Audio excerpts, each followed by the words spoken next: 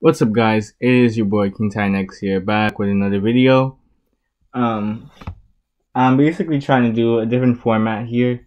Basically, I'm trying to use my tablet instead of my phone to record because, um, space, is space issues. And I've been having a bit of trouble when it comes on to like certain apps for my tablet, but it's whatever. Um, so where did we last leave off? Oh yeah, basically when we last left off, Bakugo, Ida, and Todoroki, they all fought the hero killer Stain in this what if, rather than Deku being part of them. He actually trained with Ryukyu the whole time, learning to master this mid transformation. He had a bit of trouble gaining, he had a trouble, he had a bit of trouble using it at first, being able to even activate it, but by the end he was able to fully access that. When when they left after the after that sort of internship, what what ends up being interesting is when Deku uses it in combat. When All Might has them um, try and race each other to to get him first, well, Deku is actually able to morph into his half dragon form, which easily impresses the rest of the the I was about to say crass. And which interests quite a bit of the class because of the fact that they have never seen Deku use this form before. They're used to him being in his big buff form and his full on dragon form but they never expected there to be like some sort of mixture of the two, some sort of how should I say it?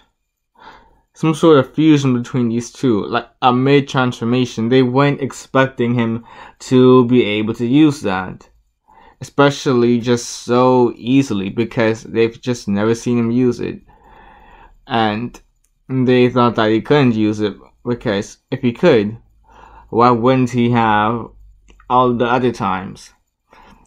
It just seemed pretty. Um, this form just seemed pretty convenient.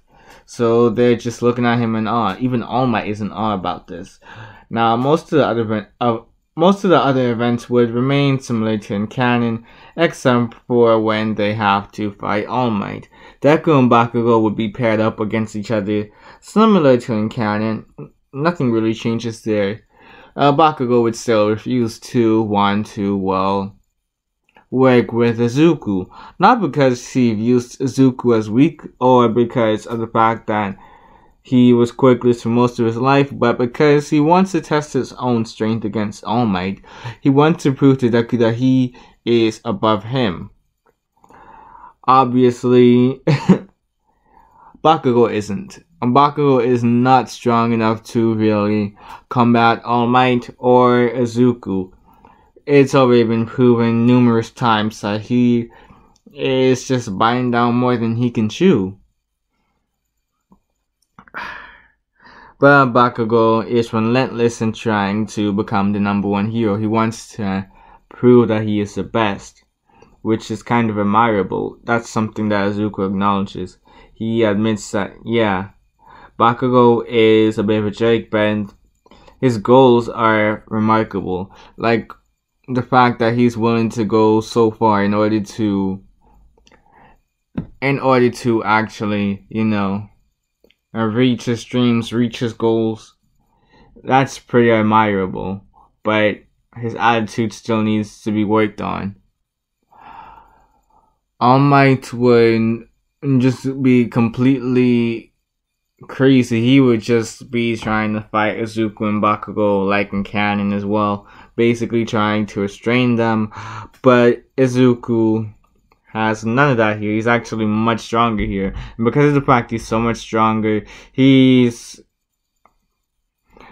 because of the fact that Izuku is so much stronger here, this doesn't phase Izuku at all. He's actually really pumped to really fight All Might and, and some just leaving Bakugo behind. Bakugo is envious of Izuku's strength because he's just watching Izuku fight All Might.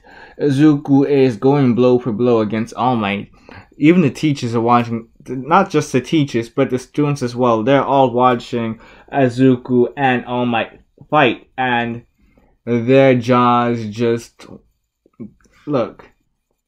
Their mouths are just hanging open at that point because Izuku is literally going blow for blow against All Might, even if it's a restrained All Might.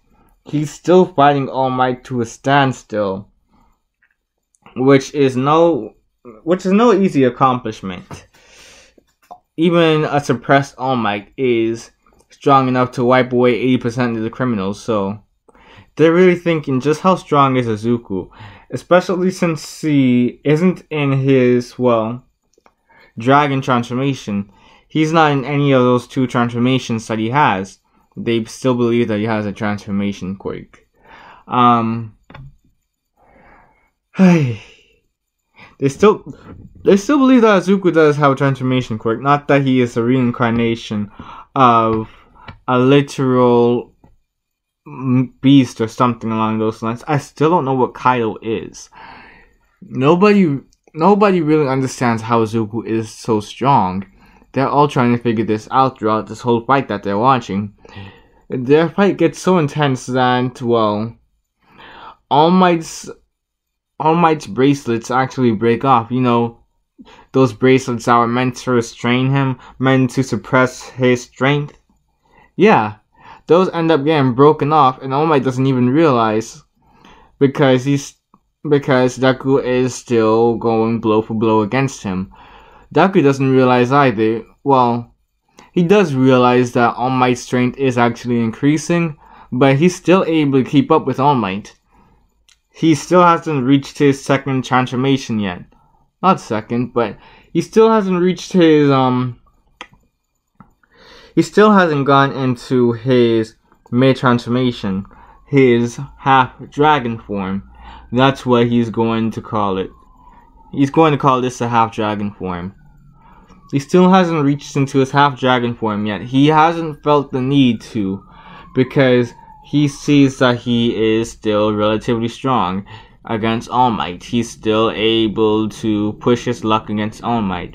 Bakugo just watches in awe and anger because Azuku is just able to just go against All Might as if it's child's play. All Might is trying to get the one up on Izuku, but Izuku's movements are just too fast for All Might. Izuku is actually starting to pick up the pace here. He's getting excited. He's getting incredibly excited. He's getting so excited to the point where he's starting to lose himself in the fight.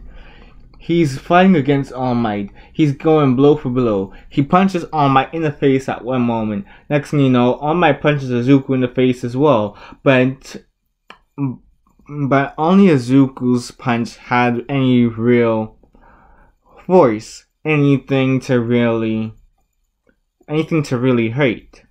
It actually kind kind of broke All Might's jaw. All Might is just rubbing his jaw in pain and he can't really talk right now. And he's just looking at Izuku, who is unfazed by his attack. Izuku just charges back in at All Might. And time is starting to run out though. You know, Bakugo realizes that, okay, we still need to win this. Bakugo is probably the only one that's reasonable here. Bakugo is acting reasonable for once and actually decides, you know what, we need to win this. So he just ends up going and with All Might distracted with Izuku, he ends up going through the gate.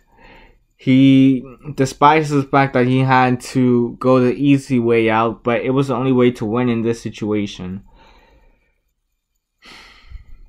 This is incredibly uncharacteristic for Bakugo. And he vows that he will do better next time. This actually forces him to train even harder than in canon.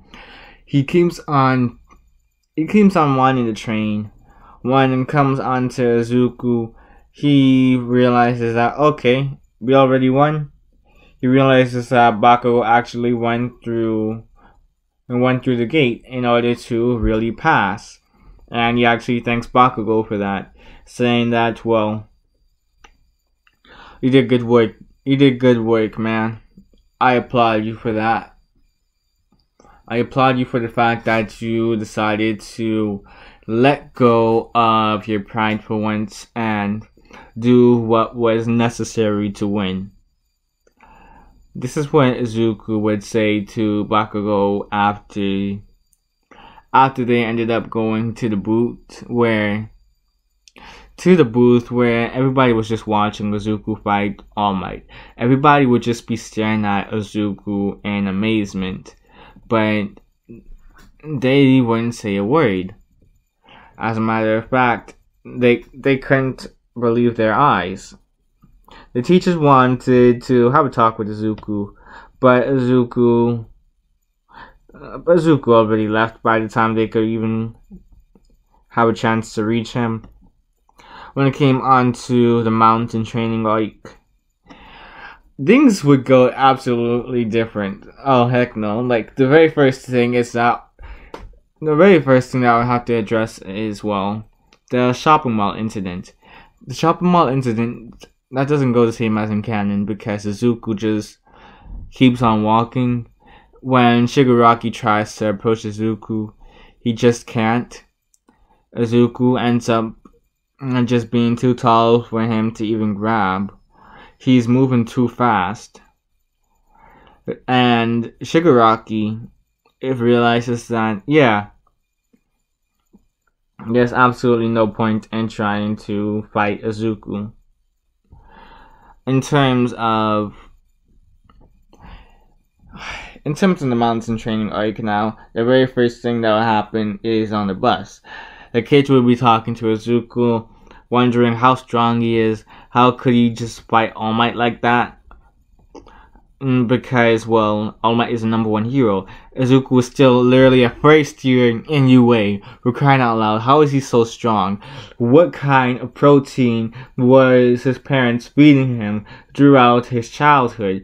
What kind of good meals was he having? What kind of quirk does he have? For crying out loud, he has a dragon quirk like Ryukyu's, but not even she is that strong to be able to face All Might.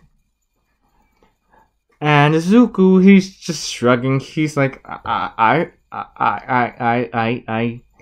But before he could even really say a word, a proper sentence, I mean, Aizawa stomps the bus and says for everybody to get out.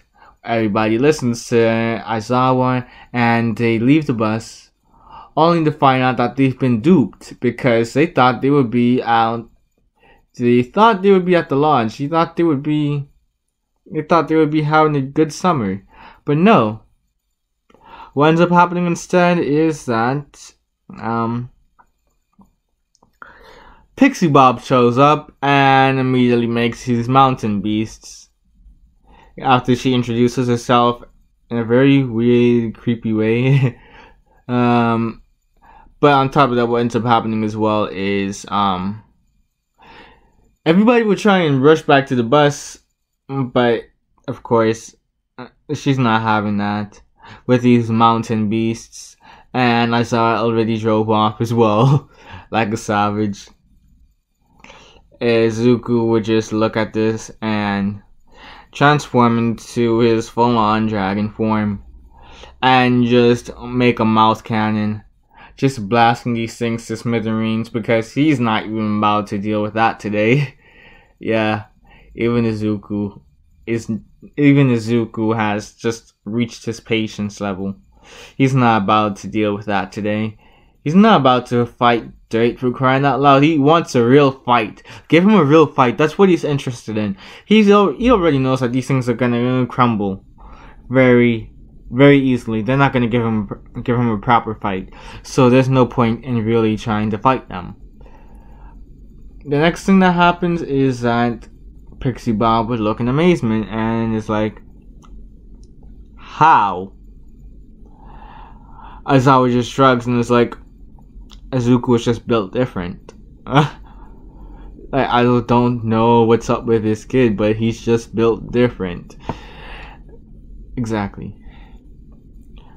Pixie Bob just sighs. Mandalay sighs as well. Of course, when they reach the when they reach the top, a, a good amount of the UA students are exhausted from the walk up, but Izuku is just feeling peppy still.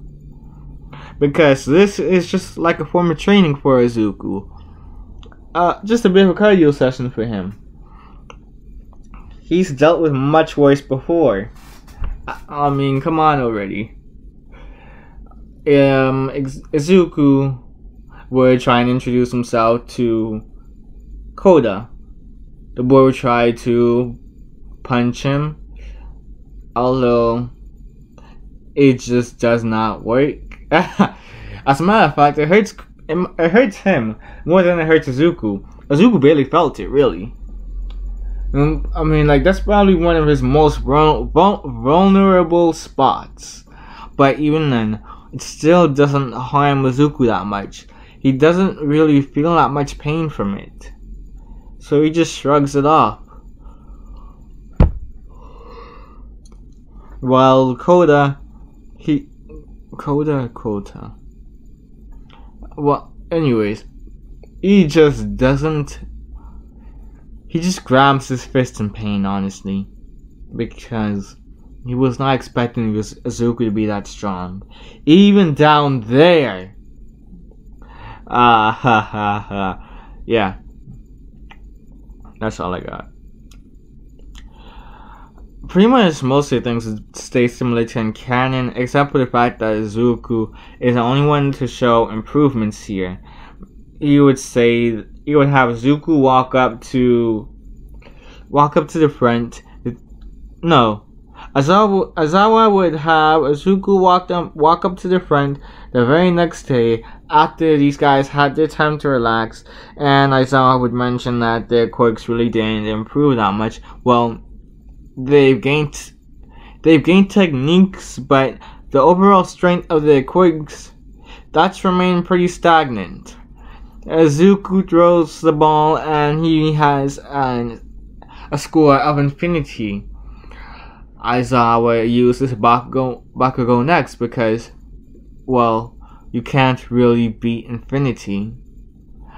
And when Bakugo throws the ball and uses his explosion quirk to have that extra push, all I have to say is that it's it's pretty lackluster. Who am I kidding? It's pretty lackluster. Uh, I would say that he just has about 50 meters extra in this canon. Aizawa is actually kind of impressed with Bakugo, but it, but he admits that well, although it is still pretty good, that's a pretty good improvement in the strength of your quirk. At the same time, it could be better, much better because that's only like a, a 15 meter increase from before. Everybody looks on in amazement at the fact that Bakugo didn't have a higher score as well. And as I mentioned that this training is going to be intense. This training is going to be is going to make you almost regret joining UA in the hero course. Makes you want to regret going the the hero line because it's just going to be so so intense and Aizawa Aizawa was not like Aizawa was not lying my goodness. When you look at the fights when you look at them trying to stuff food in their mouth trying to being able to use their quirks more effectively trying to increase the strength of their quirks here is it almost makes you want to cry. Because they're literally force feeding themselves, force or forcing themselves to go above and beyond, plus ultra, ridiculous amounts of plus ultra. Even, even, even the Izuku for crying out loud when it came on to how he had to train. He had to train by by lifting boulders up and down the mountains. He had to be hurling boulders. He had to.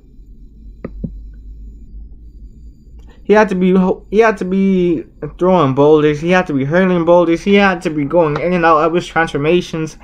He had to go through these transformations rapidly for crying out loud. And these transformations take a good deal of energy in order to actually go into. And he's just increasing the speed of his transformations the whole time. What do I mean by increase increasing the the process for him to get into the transformations because it takes a good couple of seconds in order to get into the transformation in the first place. Hey. But Azuku does manage, though. That's the most impressive part of it all. Azuku does manage throughout everything. They applaud Azuku for that, but come on. Azuku would be training on cooking as well. Everybody is learning to cook here. Like, um, this is something that Bakugo is actually ahead of against Izuku, and this is some. This is the category that Bakugo actually actually wins here. He is a much better he's a much better cook than Izuku is. Better than Izuku could ever be, really. And Izuku is actually kind of jealous of Bakugo because of that. They are making curry, but because of Izuku's stature, he needs to make much more curry than, well, anybody else. I mean, he needs a lot more food to fit that frame of his. Um, next thing you know, we have the same situation with mustard. Everybody is everybody is starting to fall asleep uh, because of because of mustard sleeping gas that he's able to produce. On top of that, they also have to deal with fighting the fighting these Nomu fighting these villains. Izuku is looking for for Koda here, and he ends up he does end up finding Koda, thank goodness, but he ends up also finding Muscular. Muscular reveals himself and actually gets pumped up because he's looking at Izuku and he realizes that hey, this kid looks kind of strong. Maybe he can give me a good fight. And of course, Izuku can. Izuku is also getting pumped because he's thinking the same thing, but also at the same time, he's looking over the Koda and basically shoos him away, has him leave the premises. Azuka gets into a fighting stance, and Muscular starts to activate his muscle fiber quirk, basically increasing his muscle mass to the point where it's just bursting out of his skin these muscle fibers. And he's even using them to really mitigate the damage as well. Izuku wouldn't try and fight Muscular. Muscular would try and fight Izuku. Muscular is not as strong as Izuku though, especially when he reaches his later transformations. Izuku is staying in his base form the whole time though. Izuku is able to to grab onto Muscular. Izuku is actually much stronger than Muscular really is. Izuku is also much faster, uh, which is surprising. He wasn't expecting for Izuku to be all that fast considering his frame. He was expecting Izuku to be strong, but he was quite bulky. He was quite bulky. So, Muscular always assumed that heroes like that would have been on the slowest side of the spectrum, with the exception being All Might and hmm, being All Might and Endeavor. Most of the heroes, especially the ones that aren't even really heroes yet, they are usually much slower.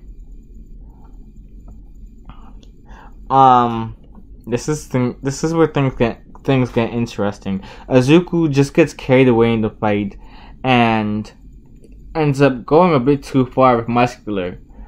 He ends up putting too much strength into one of his punches, and this is able to blow muscular back to the point where he crashes he crashes into the mountain and is left unconscious. Izuku is kind of upset because he wanted more out of the fight Izuku, yeah, of course he's upset. He wanted more out of the fight. He wanted to fight Muscular a bit more. He wanted more out of that fight, but unfortunately, he couldn't get more out of that fight because Muscular wasn't strong enough. He wasn't durable enough to to rival Izuku's strength. And Izuku just shrugs and looks for Kota to make sure that he's safe. Kota just watches in awe though, looking at the whole fight, looking at how easily Izuku was able to subdue Muscular, and he's kind of impressed.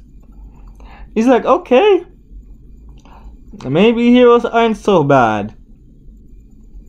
Maybe this kid, maybe this kid can be my saving grace. Izuku is just relieved to see that Kota is safe though in terms of the rest of the fights, they go pretty similar.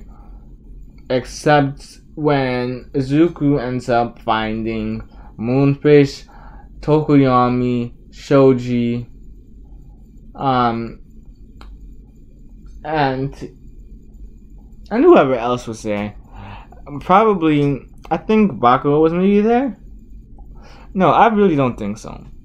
I don't remember everybody who was there at the time, but Izuku was able to uh, get through Moonfish quite easily, quite handily, eas- quite easily because of the fact that Moonfish's teeth they can't really pierce his skin; they actually break on contact, which surprises Moonfish. Usually, nobody has ever been able to break through his teeth, his extending teeth, his sharp teeth. Usually he's the one that pierces the teeth. Usually he's the one that pierces the flesh. Not that the person is able to break his teeth. And he's just like flash, flash, flash. He is just in this day state. He's he is like um, a death sentence inmate and he wants to just get rid of Azuku, but Azuku is just too strong for him. And Izuku is able to put an end to Moonfish right then and there. Izuku is able to also uh, get Bakugo. Only to find out that no. No, he did not. He actually ends up getting getting the wrong orb instead. This ended up being one of those trick marbles that Mr. Compress had. Mr. Com- Mr. Compress still had Bakugo. Izuku didn't know where though. And Mr. Compress just ends up fleeing the scene because of the fact that, well, he does not want to fight Izuku. He has seen what Izuku has done so far. He doesn't want to fight this kid. This kid is a mad lad. This kid is too strong for him to fight right now even with his quirk, he doesn't want to get close to Izuku right now. So he flees the scene, he goes through one of the portals, and Izuku is angry. Of course, everybody regroups. They they end up finding out that Momo did actually have some use here, being able to put a tracking device on one of the Nomu. After they left um, the heroes they were planning on rescuing Bakugo. Bakugo is trapped within the league. He's tied. He's tied up. He's still saying that he refuses to join the League of Villains. Absolutely not. There's no way that Bakugo is going to join the scum. But they're trying to convince him otherwise with the tracking device here, they're able to actually find Bakugo. They just need to, they just needed to regroup. They needed to make a rescue team. And what's interesting here is that Izuku is actually part of this rescue team here, because of the fact that All Might has a feeling that All for One is back, and he knows that he has become weaker over the years. Izuku is really strong, incredibly strong, honestly. And of course, he wants to make sure that there is absolutely no there is absolutely no way that for One will make it out here. He wants to make sure that All for One meets his end here and now. So Izuku is part of this rescue squad, part of part of the heroes who are going to basically try and subdue the rest of the League of Villains. Zuku is basically like a backup plan in case that All Might is not strong enough to face All For One. Because that injury really did have an effect on All Might.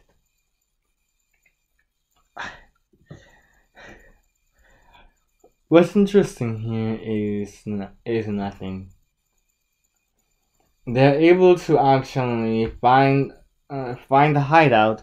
They're actually able to they're actually able to subdue quite a bit of the villains, but the main villains that weren't subdued yet, the ones that were still on the loose, were of course Shigaraki, Kirigiri, um, well, Kirigiri, Kurogiri was actually knocked unconscious. But when it came on to people like like Toga and Dabi as well, oh yeah, yeah, those guys are still on the loose. You know, those guys were able to break free thanks to thanks to All For One. Even even Bakugo was taken out by taken out by All For One using that weird teleportation quirk of his. And he was able to bring people near him. he was able to bring them all near to him. All For One uh, All For One finds out All Might is actually much slower here. He even acknowledges that. He says that it took you like it took you way too long to actually make it here. What's up with that? It seems that you've gone weaker, All Might. And he drops the biggest bombshell of most of the story up until that point. Shigaraki is actually Tenko Shimura, Nana Shimura's um, grandson. This affects the whole fight going onwards. He's like, but how? How is this possible? You lie. Um, this whole time, Bakugo, not Bakugo, but All Might is being clouded by his judgment here. He he keeps on getting distracted, and Izuku realizes this. This is when Izuku jumps in when uh, uh, when All For One is just about to kill All Might here. Izuku actually jumps in the way and punches All For One in right square in the face. He just sucker punches All For One, and he rams and he rams him with his horns as well, piercing through him. All For One coughs up some blood and looks at Izuku. He he realizes just how just how close Izuku is to him, and tries to steal Izuku's quirk. Well, at least he thinks it's a quirk only for it to not work because for some reason it just isn't. All For One is confused. Why is this not working? Is this like not a quirk or something? If it's not a quirk, then what exactly is it? All For One mm, is angry here, and so he tries to fight Izuku. He goes to the point of using that those stocked up quirks of his and I'm going to play some music for this. Izuku. Izuku tries to fight All For One. All For One tries to fight Izuku. Izuku goes in at All For One. All For One goes in at Izuku. All For One punches Izuku right square in the face with those stocked up quirks of his all in one arm. But Izuku is just too strong for All For One. Izuku tanks a hit and punches All For One back he punches All For One back. All For One is sent flying back. Izuku goes after All For One. Izuku is able to punch All For One repeatedly. Izuku kicks For One in the back, sending For One flying up into the sky. Izuku jumps into the sky as well. He goes into his half dragon transformation as well. He punches For One back into the ground. And All For One is being is, is being thrown like a rag doll here. For One is wondering how strong is this kid. For One tries to fight Izuku, but he's just not quick enough. He's not quick enough to even get a good grasp. The moment when he's able to actually stand up, Izuku is right behind him and kicks him. All one is losing it. How is this kid that strong? Now, what is this kid? This is this like some sort of secret, uh, some sort of secret love child of All Might? Was this like a clone of All Might? what was he? What was Izuku? This is what One was trying to figure out throughout this whole entire fight. It, the whole fight is being recorded as well, and people are losing it for crying out loud. What is this kid? Who is this kid? This kid is stronger than All Might? And this is what All One and everybody is trying to figure out. All Might is just in the background trying to get his, trying to catch his breath, trying to hold on to his transformation as long as possible. But it's just not working. He can't stay in a transformation, and he ends up being forced into a skinny form. Izuku is just way stronger than All Might. He's stronger than All For One. He is the strongest one here. He is the strongest one to live. He is the strongest beast. He is the strongest creature of all time. Izuku uh, grabs All For One uh, by the face and just and just shoves him into the ground.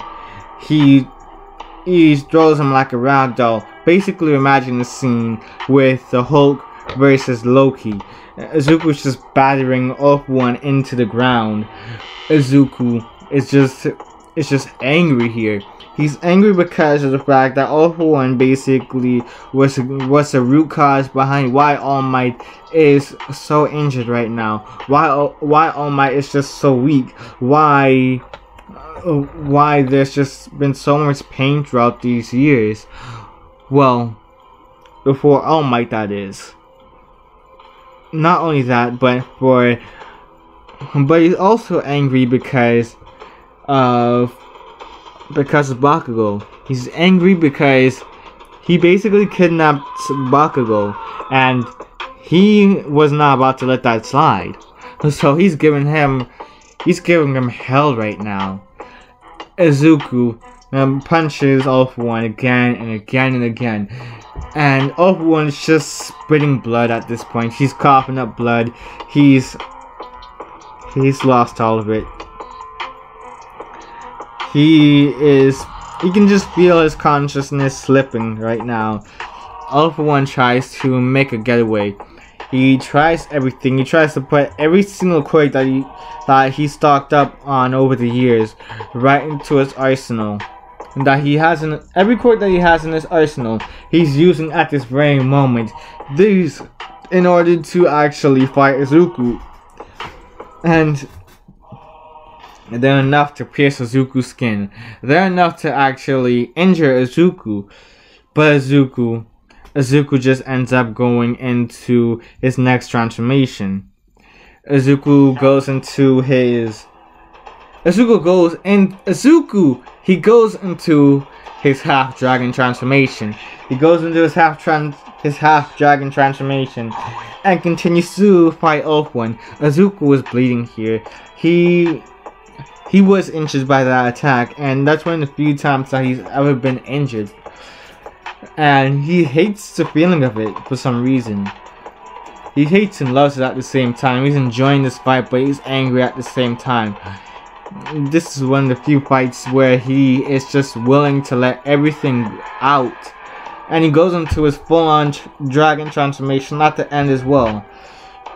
All For One is very fearful. He's trying to run away from Izuku because there is a literal dragon, a literal serpentine dragon chasing him right now. And All One can't steal his quirk, so he doesn't know what to do here. Izuku is going after the villain. He's going after All For One. All For One is like a lost kid at this point. All For One has lost this fight completely. He feels complete shame in having to run away from a mere child. But Izuku is no mere, no mere child. He is a reincarnation of Kaido. Kaido of the Beast Pirates. Kaido, the strongest creature. So, of course, everything is just an L for All for One. Ah.